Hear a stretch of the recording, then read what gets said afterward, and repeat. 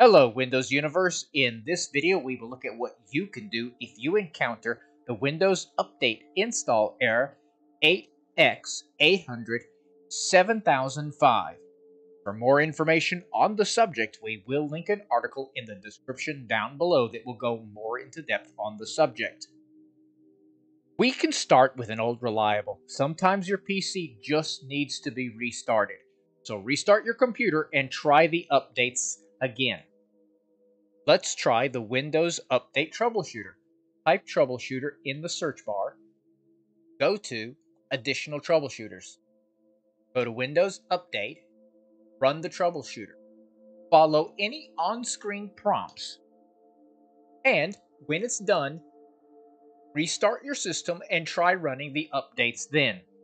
You might have a corrupt version of the update so you should consider deleting the software distribution folder and to try to download the update again. To do this, open the command prompt. With admin privileges, type in net stop W U A U S E R V and hit enter. Then type in net stop, bits, and hit enter. Then go to the File Explorer. Go to the C drive, Windows. You're looking for the software distribution.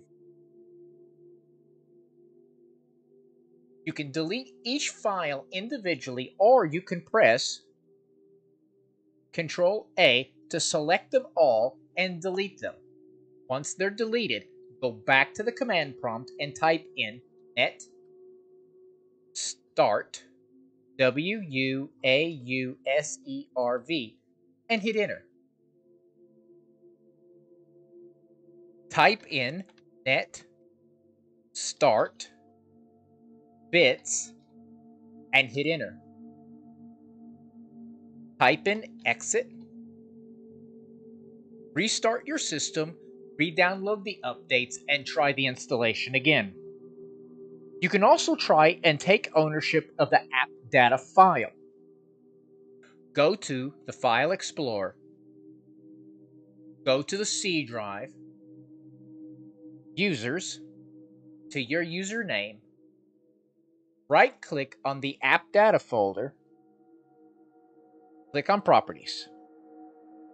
Go to the Security tab. Click on the Advanced tab.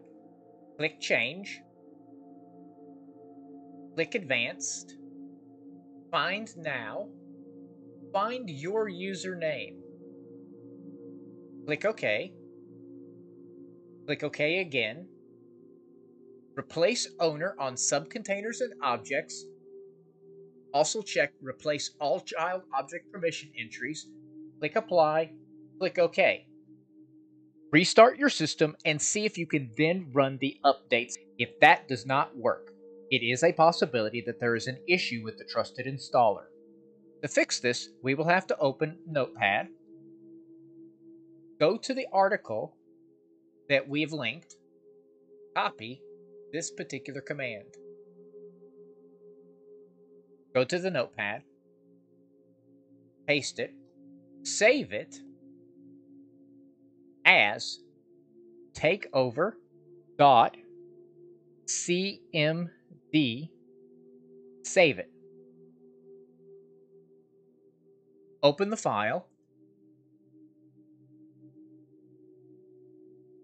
Right click on it. Run it as an administrator this should fix any issues with the trusted installer permissions. Restart your computer and then try and run the updates. For more articles aimed at maximizing your Windows experiences, go to our website, thewindowsclub.com. Do not forget to give this video a thumbs up and subscribe to our channel, where we are always adding new content aimed at making your digital universe a little bit easier. Thanks for watching and have a great day.